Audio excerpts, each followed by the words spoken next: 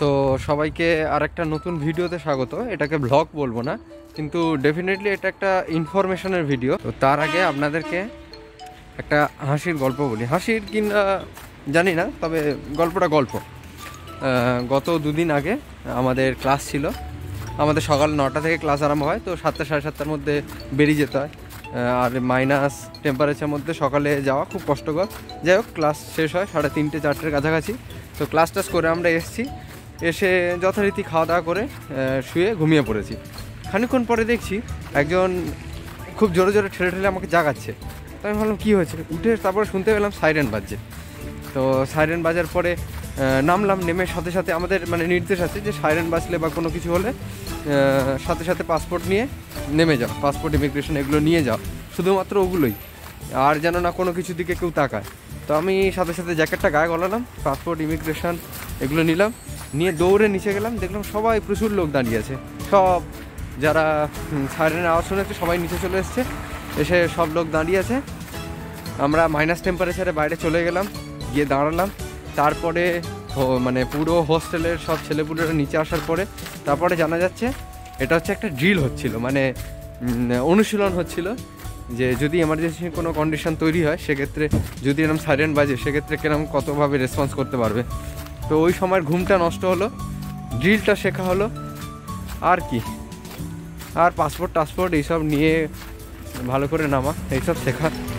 যাই হোক।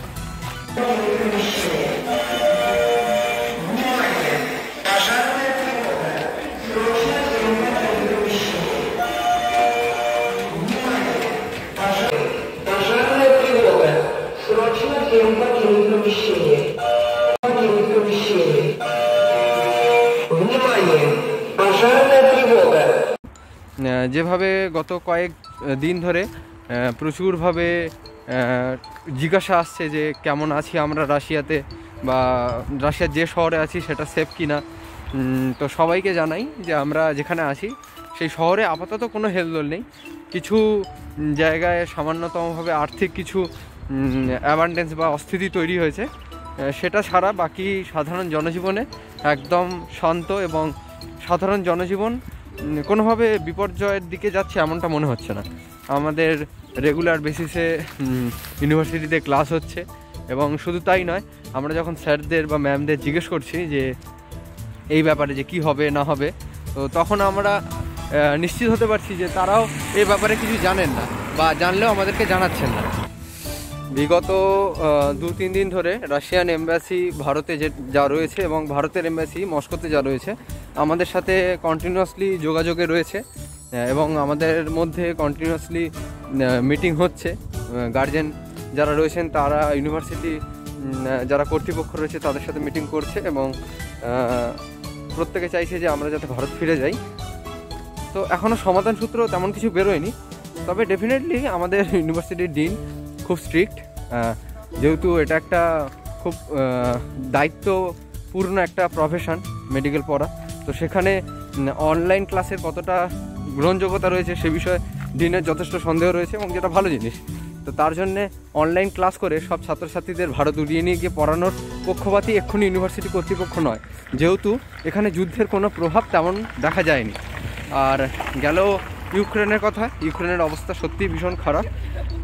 আরও আমরা সবাই প্রার্থনা করছি যাতে ইউক্রেনবাসী ভালো থাকে এবং রাশিয়া এবং ইউক্রেনের মধ্যে যুদ্ধটা বন্ধ হয়। যুদ্ধ নয়, রাশিয়ার একতরফা যে মারটা যেটা রয়েছে, সেটা যেন খুব দ্রুততার সাথে বন্ধ হয়ে যায়। আমি জানি না, আমাকে দেখা যাচ্ছে কি না তো সবার কাছে অনুরোধ, যারা আছেন ওখানে ভারতে, তারা কেউ চিন্তা করবেন না। আমরা সবাই এখানে ঠিক আছি, সুস্থ আছি। এখানে শুধুমাত্র আর্থিক কিছু অস্থিতি তৈরি হয়েছে। এর বেশি আপাতত কিছু না এবং সামাজিক কোনো অস্থিতি নেই যুদ্ধের সামান্যতম কোনো নমুনা নেই বা কোনো রকম কোনো সমস্যা আপাতত নেই। পুতিন বলেছেন যে একটা নির্দিষ্ট লিমিট অবধি টাকা বার করা যাবে। জিনিসপত্রের দাম কিছুটা বেড়েছে এবং ট্যাক্সি ফেয়ার থেকে শুরু করে বাস ফেয়ার কিছু কিছু জায়গায় যথেষ্ট বেড়েছে, এগুলো চিন্তা।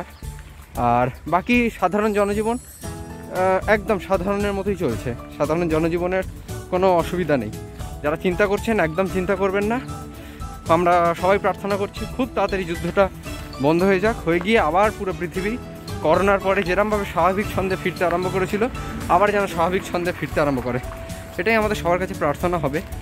সবাই ভালো থাকবেন। আবার দেখাবে নতুন কোনো, অন্য কোনো ভিডিওতে।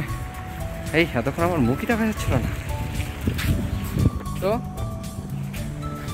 সবাই ভালো থাকবেন। টাটা।